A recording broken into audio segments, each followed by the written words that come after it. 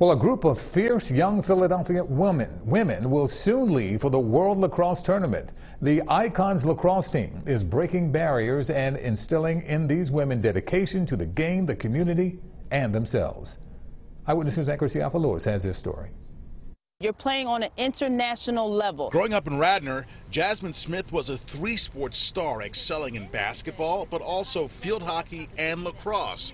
Now, she's providing access to the latter two exclusive and predominantly white sports to girls of color in North Philadelphia. I started Eyekonz with the development of really wanting to make sure that everyone had accessibility and knowledge that these two sports were available to them. And she explained why it was challenging for her as it would be for most anyone. Being the only one is uncomfortable because, you know, there were times where referees wouldn't give me a call and that was just based upon my race.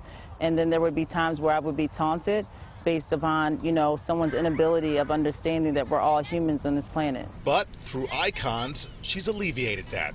Her 7th and 8th grade team and her high school team are traveling south for a major tournament. We're here today because my players are playing in the World Lacrosse Tournament, which is a tournament uh, under the Olympic Association. So teams throughout the whole entire world will be playing down in Townsend, Maryland. For these young women, lacrosse isn't just a sport they're playing. It's not just an athletic endeavor. In so many ways, it's about life, experiences, and exposure. It's a sisterhood and it's a family and we always have each other's back.